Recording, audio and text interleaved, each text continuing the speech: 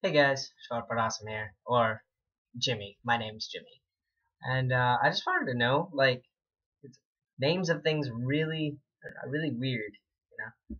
Like uh, a kitchenette, you know how it's less than a kitchen? It's like a kitchen smaller than kitchen. It's kitchen than kitchenette.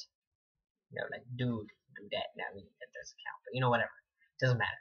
So it's at the movie theater, and there are raisinets. Like, raisinets, but that's raisin and chocolate. So wait, they're not less than raisins. They're more than raisins. Raisins and chocolate. Why are they called raisinets? I mean, should they be called like raisin moors or raisins plus chocolate?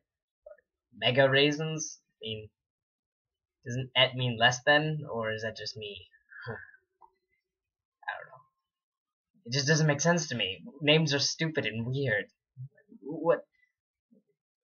Why is it a raisinette? Couldn't have been a raisin more. You're making the raisin feel bad. It's like, oh, I'm less raisin. No, you're raisinette chocolate. They're amazing. They're the best things on the planet. Unless you don't like raisins.